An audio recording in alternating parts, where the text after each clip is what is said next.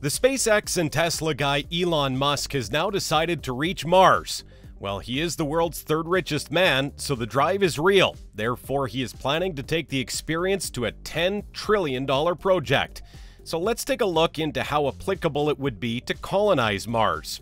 When Elon Musk founded his rocket company SpaceX in 2002, the spirit was the same. It happens when you have conquered almost everything on Earth and you look up to the skies and think, why is someone not reaching there yet? So Musk was frustrated that NASA wasn't doing more to get people to the red planet and concerned that a backup plan for humanity wasn't being developed, so he founded SpaceX. Therefore, SpaceX has developed several impressive aerospace systems Falcon 1, Grasshopper, Falcon 9, Dragon, and Falcon Heavy, a super heavy lift launcher. Well, making these aerospace systems seemed easy, but as we all know, Mars is a cold, ruthless, and airless planet located at a distance of 140 million miles from Earth.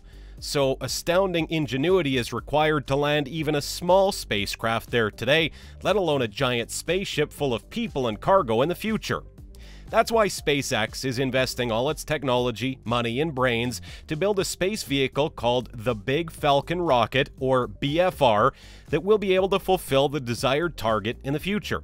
According to the plan, the fully reusable 387 foot tall system consists of two giant stages a roughly 18 story tall Big Falcon spaceship and a similarly huge Big Falcon booster.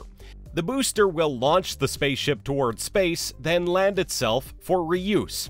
Timelines are unreliable when it comes to human spaceflight, but Musk's ambitious estimates of when SpaceX might reach Mars reveal his zeal to accomplish that goal.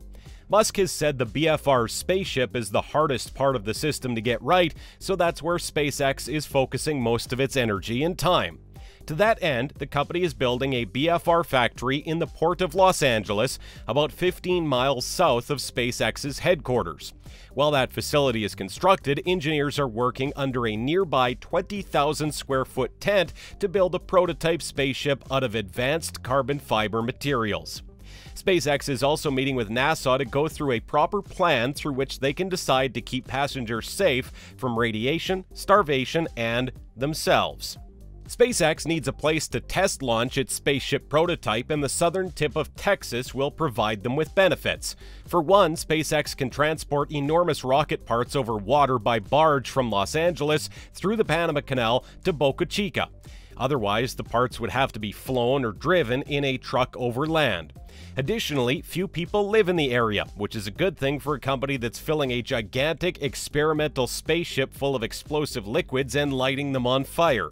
The rockets can also be launched over the Gulf of Mexico, posing even less of a risk to people or objects on the ground. The goal would be to take the small greenhouse to Mars, which will be packed with dehydrated nutrient gel that could be later rehydrated to grow plants. Through this experiment, it will be seen that if the concept of growing life is possible on Mars or not. During the Satellite 2018 conference in March, Shotwell said the BFR should be orbital in 2020, implying that both a booster and a spaceship will be built, shipped to Texas, integrated, and launched by then.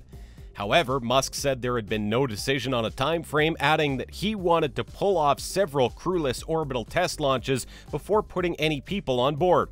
Musk has said his aspirational timeline has 2022 as the date for the launch of the first Big Falcon spaceship missions to Mars.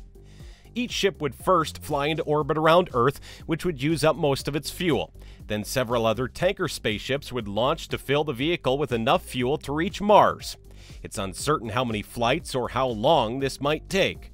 Mars and Earth get close to each other about once every two years, creating windows of time when it's quicker to reach the planet. Because of that, the best months to launch would be the summer of 2022. Depending on how efficiently the Big Falcon spaceship can change its speed, it could take anywhere from a few months to nearly a year to reach Mars. Thus, a landing in late 2022 or early 2023 is likely. Musk wants the first spaceships to be full of cargo and machines that future missions would require, that stuff would be needed for humans to build facilities that can generate power, gather water, bottle up the thin Martian air, and turn those raw resources into methane fuel and oxygen for return launches back to Earth. Paul Wooster, SpaceX's principal Mars development engineer, gave some new details about this in August. Wooster said the first two crewless cargo missions would confirm the water resources in the locations that you're interested in, and then determine any hazards for future missions, and then start to put in place some of the infrastructures that you'll need, such as landing pads for safer arrival of crewed missions. Recently, Musk introduced the world to SpaceX's first volunteer space tourist, Mr. Yusaku Maezawa, a Japanese billionaire who is paying SpaceX a hefty sum to be the first passenger aboard the BFR. Maezawa purchased all the seats on the vehicle's spaceship himself and plans to pick six to eight artists to take the roughly week long trip around the moon with him in 2023. That mission would be the ultimate proof that the BFR works.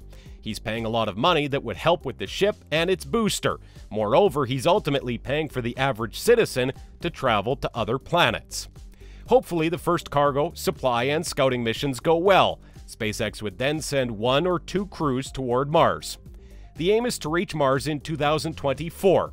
Of the current mission plans, Wooster said each ship would carry at least 100 tons of supplies. By transporting far more supplies than any crew would need for a years long Mars mission, along with bulky gear, SpaceX might circumvent the need for advanced technologies that would otherwise be required to stay on Mars.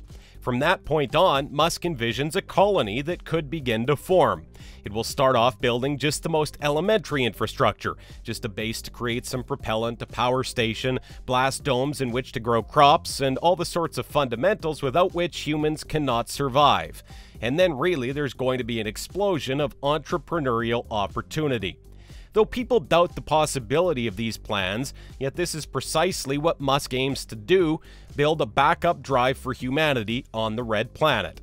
I hope people start to think of it as a real goal to which we should aspire to establish a civilization on Mars, Musk said in 2017. This is not just about humanity, it's about all the life that we care about. Musk envisions sending about 1 million people to Mars at about $200,000 per one way ticket. He believes that price will be possible given the hypothetical reusability of the BFR. The idea is not to gain profit, but he thinks only if he can afford it, he will be more than happy to achieve this target. To that end, its website hosts an image of a rusty red planet morphing into an Earth like world. The illustration is a nod to a hypothetical and speculative process called terraforming, in which deliberate and more rapid change in weather will happen. The idea is that Mars could be transformed into a warm, wet world, one better suited for permanent human colonization if we could melt the planet's carbon dioxide rich ice caps. Mars has less than 1% of the atmospheric density at its surface compared with Earth. Mars had most of its air blown into space billions of years ago. That makes it comparable to a vacuum chamber. Under those conditions, harmful space radiation doesn't get blocked, and people couldn't breathe outside a spacesuit or sealed colony. It's unknown whether terraforming could be done in a sustainable amount of time on Mars.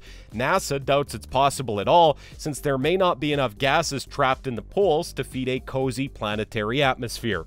Plus, the effort might require a kind of powerful satellite that could generate a magnetic shield to protect against solar radiation that would otherwise blow away any human manufactured atmosphere. Experimenting with terraforming may be only one way to tell whether it's possible. Musk or perhaps his legacy just might be the impetus that makes it happen in the distant future.